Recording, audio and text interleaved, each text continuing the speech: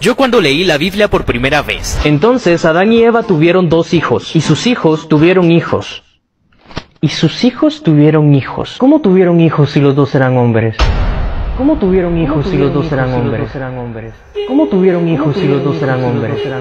Pero de mujer solo estaba Eva.